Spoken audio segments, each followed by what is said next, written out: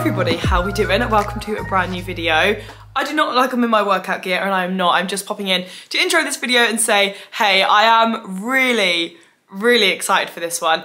It's very different for me, but actually filming it was so much fun and came like really naturally to me and I've actually got pretty confident filming in the gym now. So I'm really excited to see your guys' response, if you enjoy it, if you don't. In this week's video, we've got a week of workouts. I actually get asked probably more often than you would think, unless you are one of the people that does the asking, about my workout routine and my eating and stuff. I feel like it's something I talk about a lot and hopefully you guys are asking because you can see, I feel like I'm in a really amazing, gorgeous place with it at the moment. I feel like at this point in my life is probably the only point I can ever sit here and hands up, hands down say, I exercise right now because it makes me feel amazing. I exercise because it makes me feel great, it makes me feel so happy, and I enjoy it.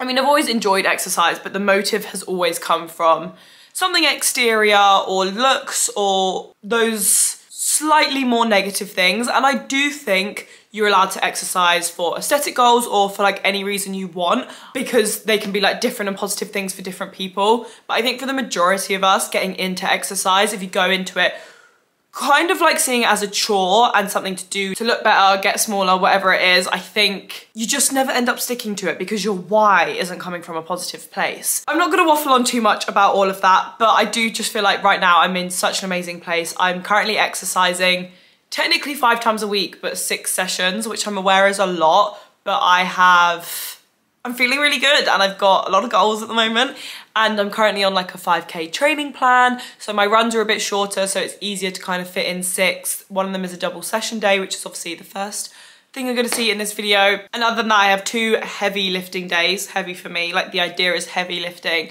and then one kind of like more functional, fun kind of workout. And I feel like I've absolutely smashed it. I really wanted to make the perfect plan for me. I'm not a professional, I'm not a PT. This is what I do to have fun. All of my training that I'm doing in this program is by myself. The gym, like I've just put it together. It's what I enjoy, it's what I find works for me. But my running is programmed by Runna. So when you're listening to this, I have a code with Runna that actually goes live tomorrow. So a bit annoying, but if you do want to use it, it goes live tomorrow.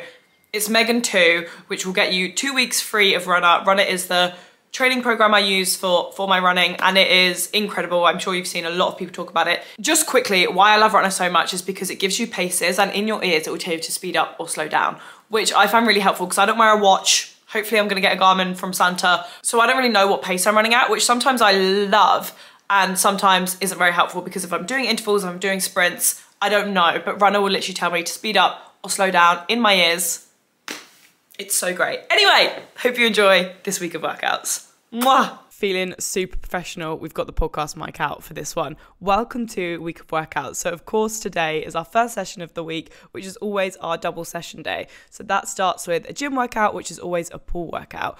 I've actually just kind of rejigged my whole training plan because I found that it wasn't it wasn't really working with running.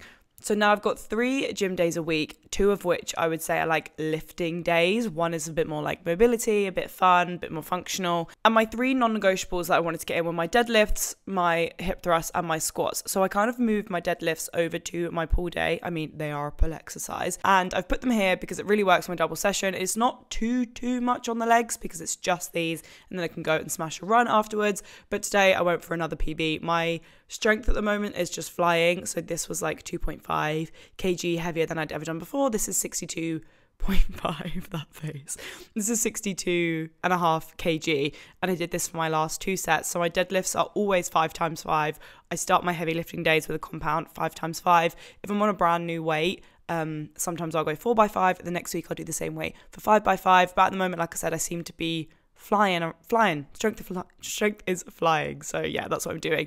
And then I go on to assisted pull-ups, and I've started to do these eight reps, six reps, and then four reps, decreasing the resistance and the weight every single time. So you're doing less reps, but it's heavier.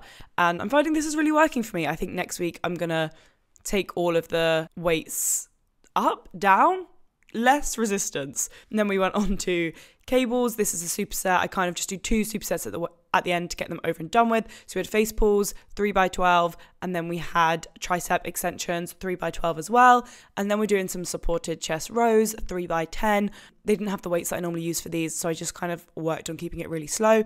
And then we went into biceps. Again, they did not have the same weight that I normally use. So I think I did 3 times 15 here, whereas normally I do like 3 times 12 and that is my pull day. First workout of the week done.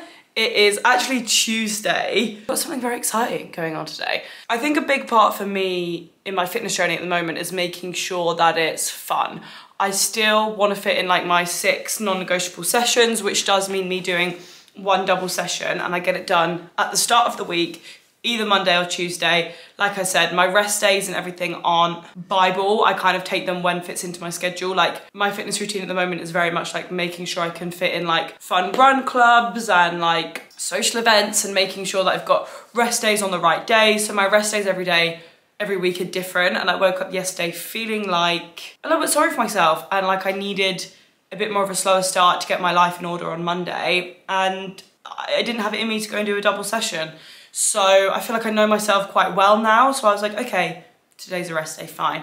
And actually really exciting because Molly texted me yesterday saying, do you want to go and do a 10K tomorrow and get a coffee? And I actually have, I use Runna for my running programming and I'm currently on their like 5k improver plan and in the 5k improver plan on week six which is the week i'm on right now is your longest run a 10k and i normally do my easy run my short easy run on my double session days, which this week is a 6K, so I would have gotten on now to do a 6K. But like I said, trying to be bouncy, trying to fit in fun where possible, and I literally have a 10K on my plan, and Molly asked me to go and do a 10K, so I was like, okay, might be a little bit hard to do it after a double session, but let's go for it, let's do it. Do as I say, not as I do. Quite an intense day. If you told me in January I would be running 10K off the back of an intense pull session filled with deadlift PBs, I would have been like, what are you talking about? I'm just feeling really good at the moment and I'm loving focusing on like enjoying my fitness journey and like getting people involved in my fitness journey, going to gym with my boyfriend, running with friends, and it's so fun and not revolving it around how I look whatsoever. I mean, don't get me wrong, I do catch a little glance of my bum and legs every now and then. I'm like, oh, we're looking good, but I'm no longer focused on that. I'm not sure how excited I am about the 10K. Molly is very fast, a lot faster than me. Obviously double session day means a little change in outfits when I come back, so I'm swapping my blazers.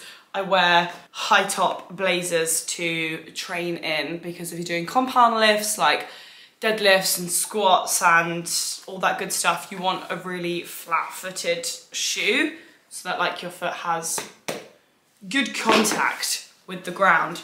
So I wear these to train in and I think today I'm gonna wear, I think these are my favorite running trainers at the moment. I'm really, really loving them. They're not like the other, the old trainers I used to have, they're super different.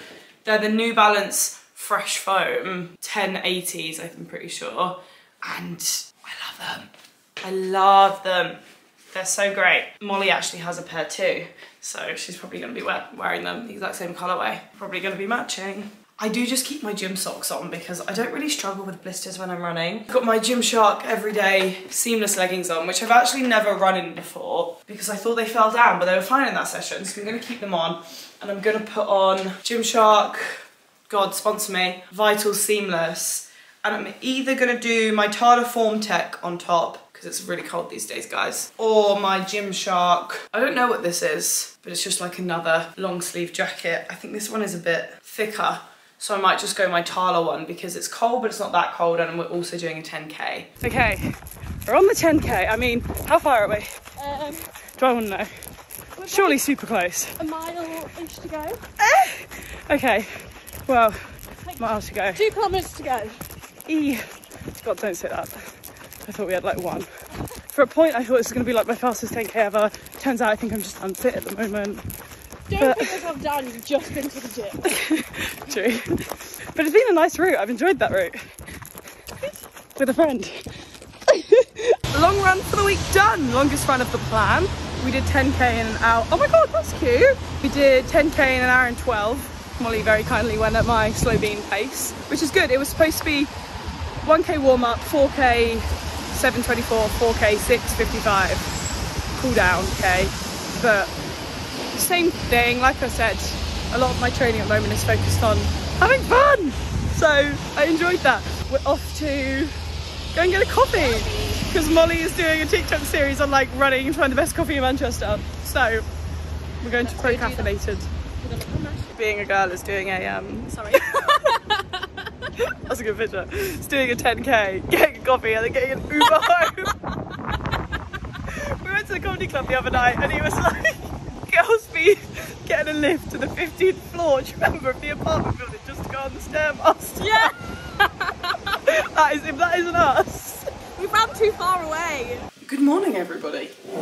It is um, day two. It's Wednesday. Really, should I be doing legs today? No, but Carter is here, and whenever Carter's here, it's leg day. So I'm gonna go and do my lower body session, which is pretty much my old shreddy session, ish actually. The last like three exercises I got, I stole from my shreddy session because I just think they're so fun. We're in full Lulu today. Full Lulu Align actually, even my sports bras. And we've got navy leggings. The vibe is walk in pretty in pink and then hopefully get a squat PB. I've tried to squat 80 twice now. Two different sessions. Third time's a charm. Two different sessions. For the first time I tried three times. The first time I was like, Carter, you like picked it up before I even had a chance. Realistically, I probably wasn't actually strong enough then. I feel like now I definitely am. I did 65 for 5 by 5 last week. You're gonna absolutely smash it. Yeah, so should be should be strong enough. So that's the plan today. Okay, welcome to my favorite session of the week, but also the most hellish session ever. Like this is lethal. This is lethal, but I can't lie, the strength in my legs is like increasing so so much. I was literally crying to my boyfriend the other day that I haven't been able to squat above 60 for like a year now, and it's always hit and miss if I can do it or not. And guys, we are flying. So this is me just warming up. Very important to warm up, guys. So I always like go up by like five kilos, then 10 kilos. And my boyfriend is like, you don't need to be doing all of this warm up. And I'm like, let me just warm up properly. And then I went for my 80 kilo squat. So this is 70, actually. Again, like I said, warm up. So I went in for 70. It flew. My boyfriend was getting really excited. That's why I was laughing. Guys, I think we've got it. I think. And I went in for my 80 kilo squat, which I said I have tried a good few times now. And I actually counted this as a big fat fail um, at first. I feel like that was shit. Alright, you good? You wanna do it, wanna do it again? Yeah, that was shit.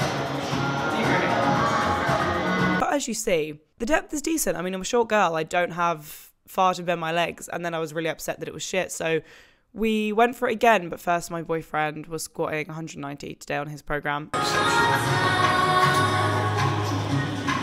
Failed. I failed, failed, failed my second 80, and it really pissed me off, which is why I've kind of stopped trying to do it for a while because it just gets me in a bad mood afterwards. But then I was like, do you know what? We're still going to do what we said, and I'm going to up my working squat sets. So this is 67.5 kg. Again, for I think I did four times five actually. I might have done five times five. I don't think I did. I think after trying 80 twice, I did four sets of five of this. And like I said, next week, um, depending on how they're feeling, I'll either do five times five or I'll just go for another, I'll just go for 70. But that seems a bit crazy ambitious. But these felt really, really solid. And then I've added these into my sessions recently because of my boyfriend. These are like dead squats. So the weight rests on the bar and you just power up. So it's a lot less weight on this. It's like 40 kilos on here and you really work on like bouncing back up, like being really explosive. I'm really bad at them um, because I like that's where my weak point is in squats, like just out of the hole. And then welcome to the superset from Actual Hell. This was introduced to me in my shreddy session and I absolutely hated it, but I also absolutely loved it. So we start with hip thrusts. I just do three times eight and then split squats. My back needs to be way more up in these. Do not take my form and anything I'm doing in here as Bible because I'm not a PT, but I do recognize that my back should have definitely been a bit more lifted there. And then into RDLs. And by this point, I'm normally really tired, but today I was like, you have been doing this way for ages and you know you can lift more. We've literally lifted more before. So every set here, I went up um, 2.5 kg. So I think I ended on 47.5 and I do three times eight on these. And that is the most lethal leg day ever. Five exercises, but Jesus Christ, you'll be shaking for the rest of the day. That session is absolutely woeful. Both literally limping. But that session is making me hella strong. 67 squats, guys.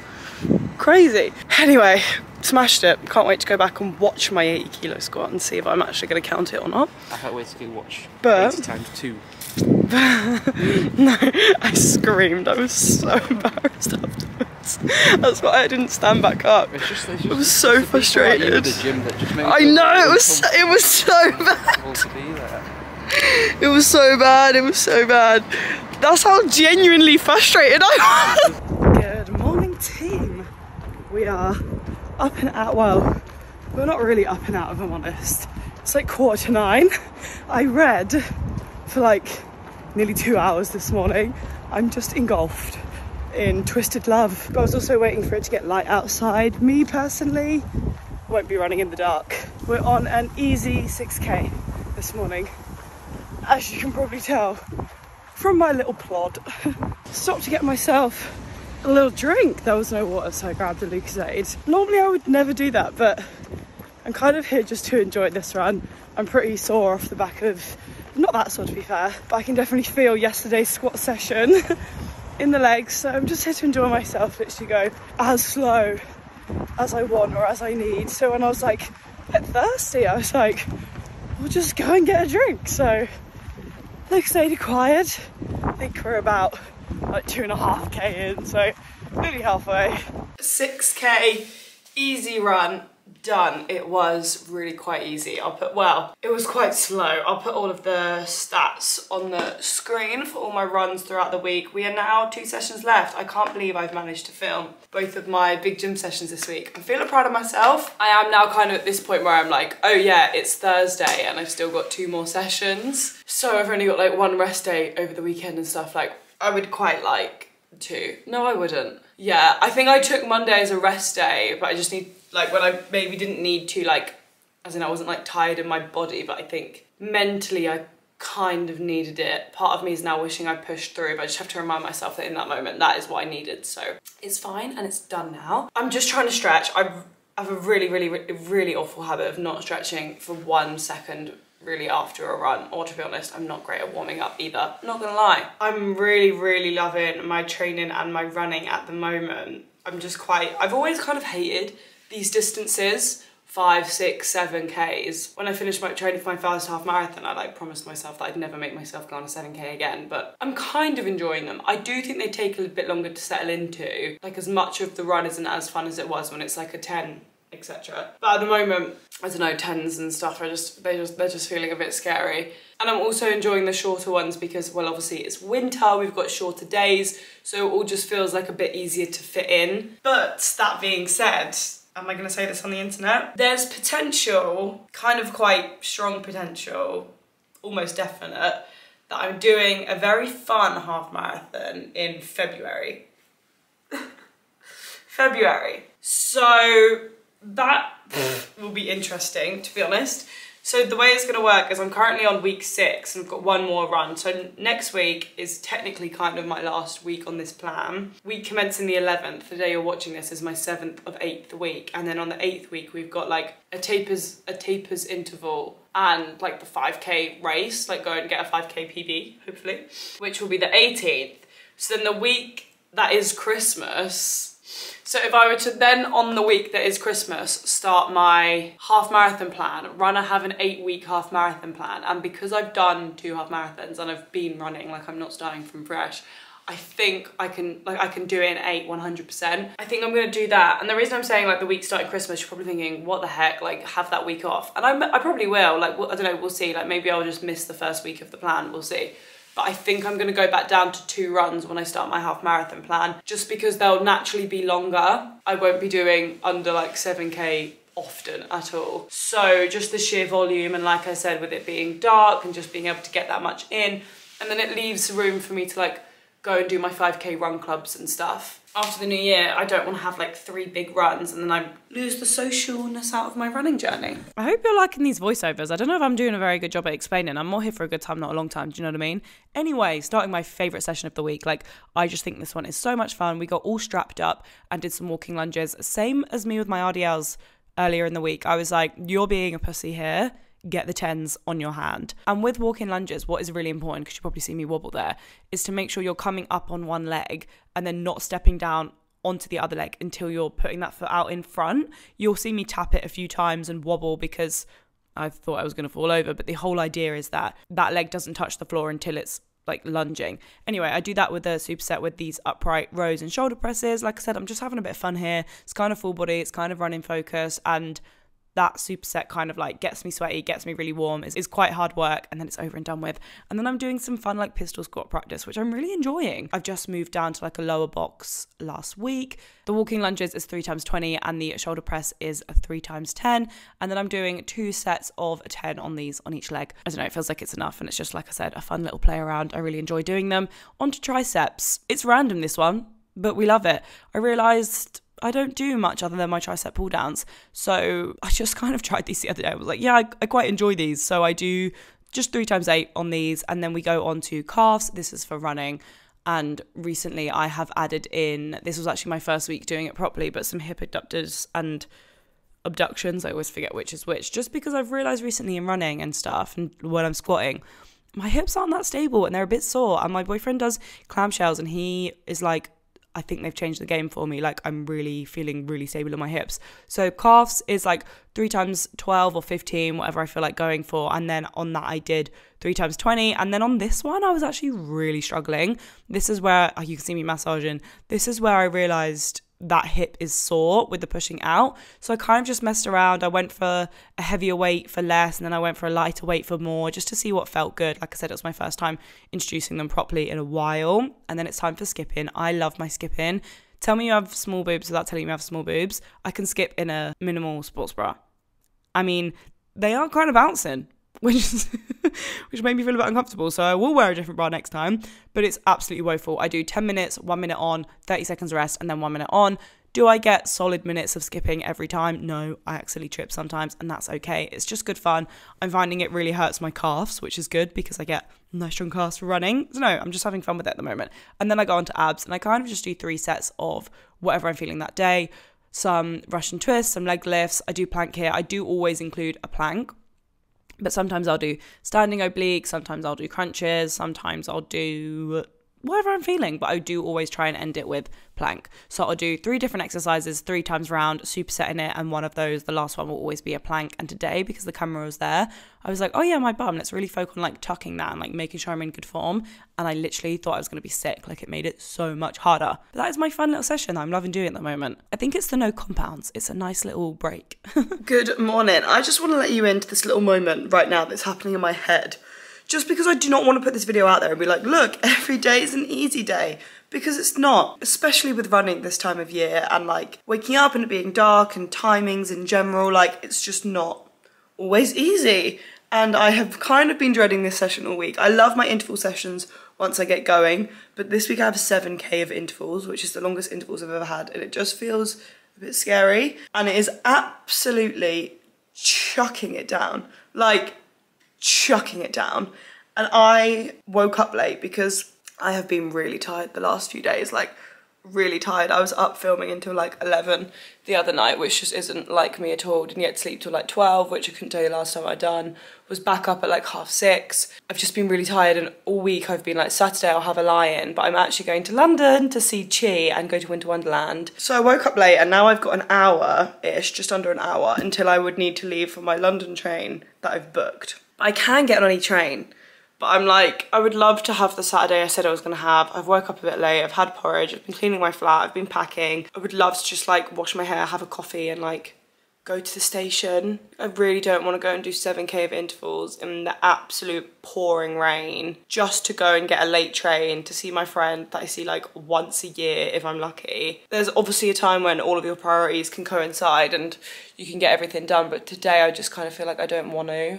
Do my run. I don't I don't want to have to text my best friend and say sorry I got a later train because I wanted to go on a run. I'd like to be there when I said I was going to be there. We'll try and do this run tomorrow. Um, I'm kind of like you have to get this run done tomorrow. It's a week of workouts, but then it's not the end of the world. I'm not really training for anything. I was excited to do it. I'm only saying that because when I get back tomorrow, it will be dark. Hello, it is Sunday night, and instead of feeling actually really, really tired and not wanting to do this, I'm actually gagging for some movement. It is half five, so it's not late, so I'm not worried about like people not being out, like the cars, the cars there, you know, it's busy. Also, don't even talk about my outfit. I just tried to put something bright on. I literally was just walking on the road because I just got the tram back literally about five minutes ago and I'm trying to just get out super fast because like I said, there is cars about, it's busy. So I'm just gonna stay on the main road.